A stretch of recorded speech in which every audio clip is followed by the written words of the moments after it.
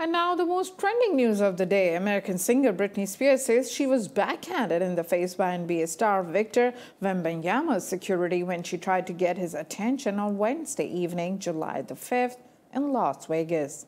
In a statement posted on her Twitter account on Thursday, Spears says she wanted to congratulate Wembanyama on his success, so she tapped him on the shoulder to get his attention. His security then backhanded her in the face without looking back claimed Spears, seeing her glasses fell off her face and she was nearly knocked to the ground.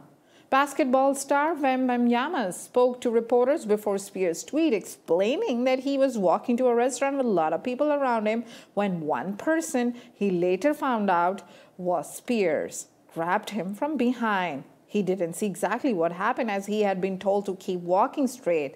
He said, but the security did push her away. He said that he doesn't know how much force, but security did push her. Addressing these comments in a tweet, Spears says she simply tapped him on the shoulder. Spears' husband Sam Asghari also commented on the incident, saying he is opposed to violence of any form. In her post, Spears went on to say this story is super embarrassing to share with the world, but it's out there already. However, she thinks it's important to share this story and to urge people in the public eye to set an example and treat all people with respect. Spears made her musical comeback last summer when she released a duet with Elton John, her first new material for six years and following the end of the, her 13-year conservatorship.